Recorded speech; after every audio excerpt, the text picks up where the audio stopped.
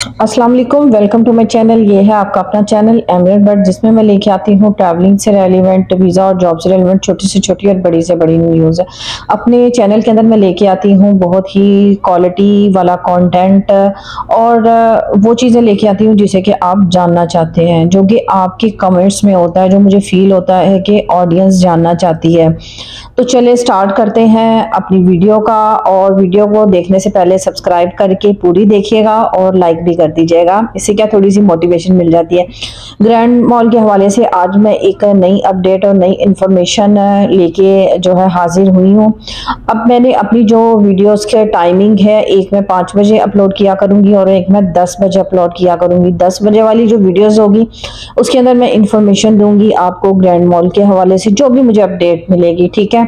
और पाँच बजे मैं ओवरऑल यूएई की कुछ भी अपडेट्स आ जाती हैं, कुछ भी ऐसी चीज़ें होती हैं जो लोग फेक लाई हुई होती हैं, या कोई भी ऐसी इंफॉर्मेशन होती है, जैसे कि वीज़े से रेलिवेंट होती है, वो मैं आपको दिया करूँगी। तो दोनों टाइम पे आपने वीडियोस देखना नहीं भूलना है और वीडियो को लाजमी देखना है और शेयर कर देना है और सब्सक्राइब करवाना है उन लोगों को जो कि इंटरेस्ट रखते हैं यूए की न्यूज़ जानने के लिए। तो चलें स्टार्ट करते हैं। बहुत ज़्यादा लोगों का एक क्वेश्चन मुझे जो इंस्टाग्राम के ऊपर मिल रहा था कि अगर उनकी फैमिली में से कोई डिपोर्ट हो गया फॉर एग्जांपल अभी तो जो है डिपोर्ट होने का जो प्रोसीजर है, वो चल रहा है स्टेप बाय स्टेप बहुत से लोगों को पहले मैं मुनासिब समझती हूँ इस क्वेश्चन का आंसर कर दिया जाए कि वो पूछ रहे हैं कि डिपोर्ट कब होंगे। ये क्राइटेरिया कितने देर का होता है, ठीक है?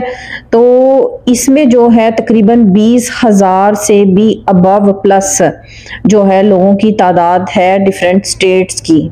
और अभी तक जो है रेट पड़ रही है डिफरेंट जो एरिया के अंदर स्टेट्स के अंदर उसमें अभी क्वांटिटी और ज़्यादा बढ़ रही है। और मैं एक चीज़ आपको ये भी क्लियर कर दूँ कि कुछ लोग अभी भी हैं जो इस तरह का काम कर रहे हैं इतना ज़्यादा रिस्क होने के बावजूद ये जो है फिर भी ये काम अभी कहीं ना कहीं हो रहा है। तो जो लोग ये काम कर रहे हैं वो बी केयरफुल क्योंकि अभी तक जो है वो आ, सारा प्रोसीजर चल रहा है। ठीक है? और एक तरह से ये बहुत अच्छी बात है कि लोगों के पैसे निकल रहे थे, लोगों की सैलरीज आती थी, उनके पैसे उनके अकाउंट से गायब हो जाते थे और क्या होता था? लोगों के साथ इसी तरह होता था कि बहुत ही ज़्यादा बैंकिंग सिस्टम और इस तरह से डिस्टर्ब हो रहा था इन सारी चीज़ों को लेके।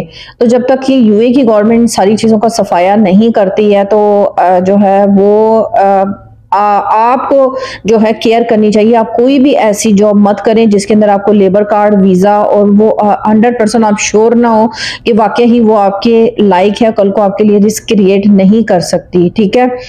तो जी हाँ अब जो बात करती हूँ मैं डिपोर्ट के हवाले से कि डिपोर्ट का कुछ लोग पूछ रहे थे कि जी कितने देर का टाइम पीरियड होता है कि डिपोर्ट कर देते हैं?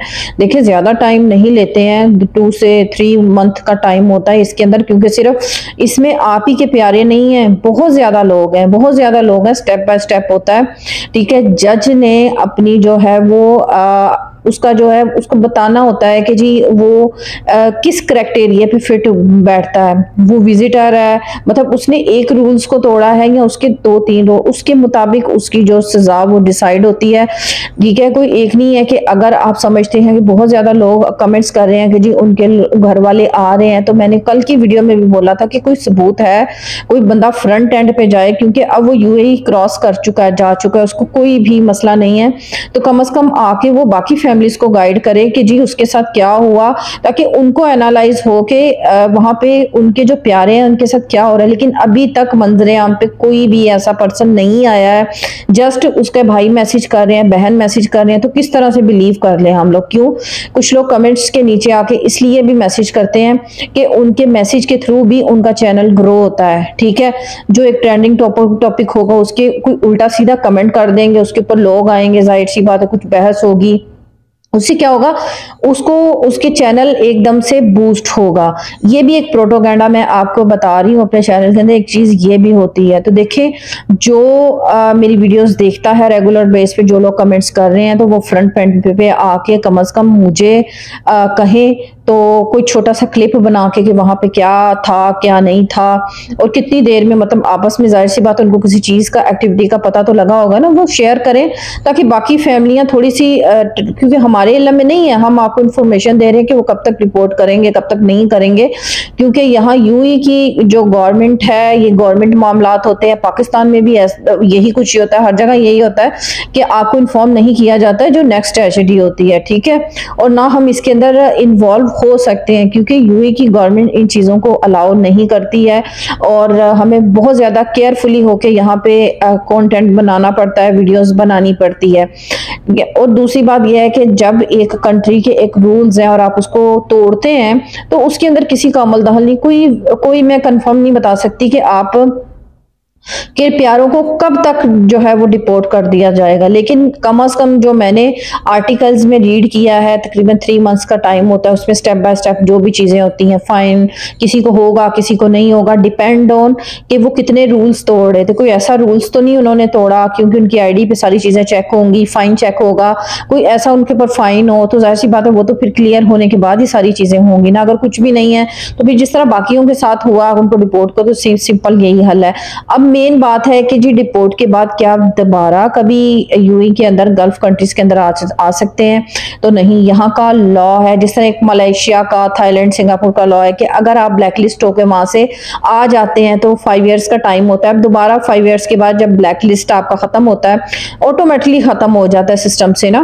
तो आप वहाँ पे क्या ट्रेवलिंग कर सकते हैं? बट यूएई का एक है कि अगर आप वन टाइम इधर कोई क्राइम केस या इस तरह की इन्वॉल्व होते हैं तो आप ब्लैक लिस्ट हो जाते हैं तो दोबारा आपकी एंट्री नहीं हो सकती है। आप किसी भी गल्फ कंट्री के अंदर नहीं आ सकते चाहे वो सऊदिया है बहरेन है, और या इसके बारे में अगर किसी को मुझसे ज़्यादा जनरल नॉलेज हो, वो भी मेरे से शेयर कर सकता है। जहाँ तक मुझे पता है, अंदाज़ा है, यही यहाँ का प्रोसीजर है कि आप दोबारा नहीं आ सकते हैं। ठीक है?